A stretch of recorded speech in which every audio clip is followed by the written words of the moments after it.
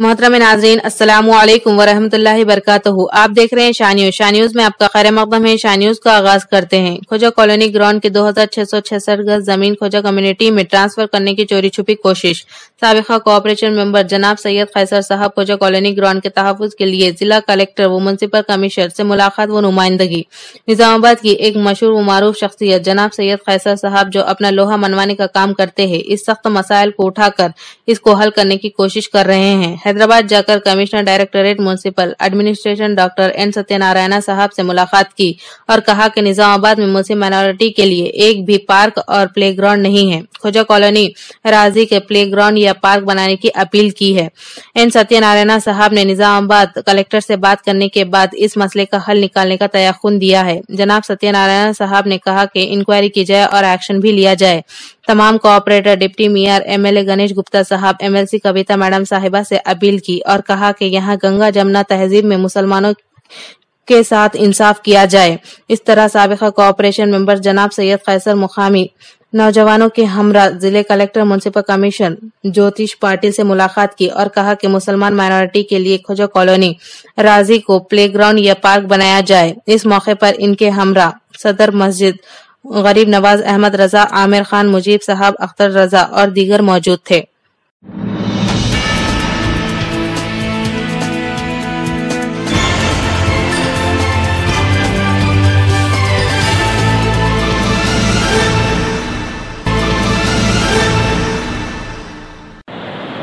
अल्हम्दुलिल्लाह रबालमीन तमाम तारीफ़ अल्लाह के लिए है। अल्लाह के फजल करम से मैं हैदराबाद जाकर कमिश्नर डायरेक्टरेट म्यूनसिपल एडमिनिस्ट्रेशन से मुलाकात की। डॉक्टर एन सत्यनारायण से मुलाकात की और मुलाकात करने की वजह मेरी ये रही कि खुजा कॉलोनी का जो ग्राउंड है, दो हज़ार छः सौ गज ज़मीन को खुजा कम्युनिटी पर कन्वर्ट किया जा रहा है ट्रांसफ़र किया जा रहा है और वो काबिल कबूल नहीं है और खिलाफ म्यूनसिपल एक्ट है। क्योंकि ज़मीन इस तरह से हर कोई बोल दोस्तों आएगा, लड़ेगा, पूछेगा, मेरी ज़मीन मुझे दे दो, बोल के बताएगा। लिहाजा ये नहीं हो सकता। तो मैंने वाज तौर पर बताया। तो उन्होंने कहा, सत्यनारायण साहब ने कि वाकई सही बात है। मैं निजामाबाद के कलेक्टर से बात करूँगा एंडोर्स करके लेटर भिजाऊँगा कि इस पर इंक्वायरी किया जाए और इस पर एक्शन लिया जाए। क्योंकि मैं वाज तौर पर बता दूँ तमाम आवाम को कि निजामाबाद में मुस्लिम माइनॉरिटीज के एरिया में एक भी पार्क नहीं है और एक पार्क नहीं, बल्कि एक ग्राउंड भी नहीं है। अगर आप मेजोरिटीज के एरिया में जाके देखेंगे, तीस चालीस वहाँ पर पार्क और प्ले ग्राउंड है। करोड़ों रुपए खर्चा हुए बल्ला की तरफ़ से। लेकिन हमारे एरिया में, मुस्लिम माइनॉरिटी एरिया में, एक ना पार्क है, ना प्ले ग्राउंड है। दो हज़ार छह सौ गज ज़मीन को भी ट्रांसफ़र करने की कोशिश की जा रही है, जो अतराफ से चार तरफ़ से चार रोडा है, जो बेहतरीन बतुसो पार्क और प्ले ग्राउंड या इंडोर स्टेडियम बन सकता है। मैं बिलखसूस गणेश गुप्ता साहब से आपसे पूछ रहा हूँ और कविता मैडम से कह रहा हूँ कि कविता मैडम, आप एम एम पी बनी थी, मुसलमानों ने आपको वोट डाला था।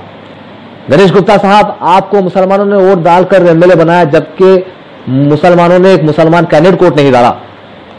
क्या यही मुसलमानों के साथ आप तो काम कर रहे हो? क्या यही वो तो गंगा जैन तहजीब है? करोड़ों रुपए खर्चा करते हो दूसरे एरियाज़ पे जहाँ पर पार्क प्लेग्राउंड बनाते हो। ना हमारे एरिया के अंदर पार्क है, ना कोई प्लेग्राउंड है। क्या आप इंसाफ कर रहे हैं? मैं आपसे पूछ रहा हूँ, गणेश गुप्ता साहब। आप जिम्मेदार है, क्योंकि मुसलमानों ने आपको वोट डालकर जिताया है। आपका हक बनता है कि ये फॉरेन रेजोल्यूशन को कैंसिल करें काउंसिल मीटिंग अंदर फॉरन लगाकर।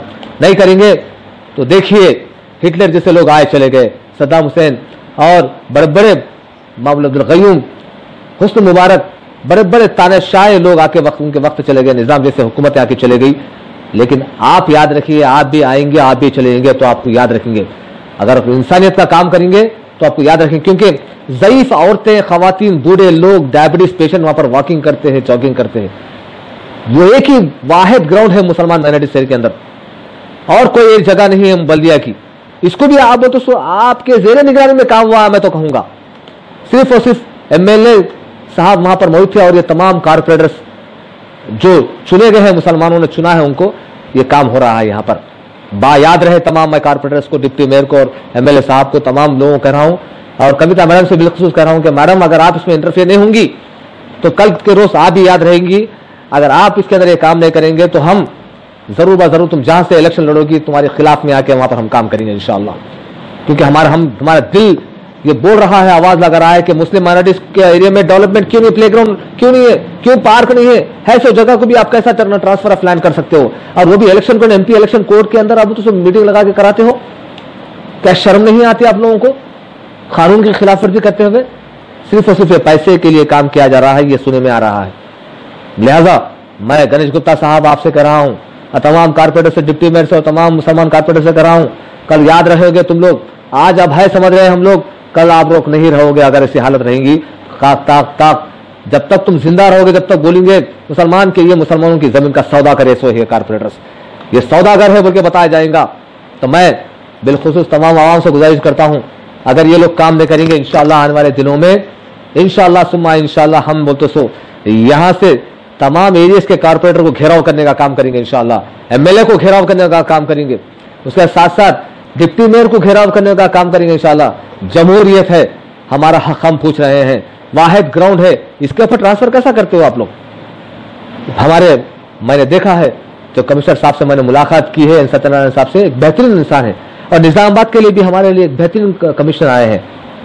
तो मैं तमाम से गुजारिश करता हूँ कि हमारे लिए मुझे हमारे ग्राउंड की हिफाजत करिए, हमारा ग्राउंड हमको दीजिए फॉरन फेंसिंग करके हमारे स्टेट इंडोर स्टेडियम या पार्क बना के रखिए ताकि बच्चों हमारी खातन हमारे बच्चे, हमारे बूढ़े याद रखेंगे।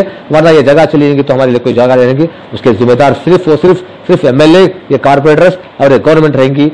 जय हिंद, जय भारत।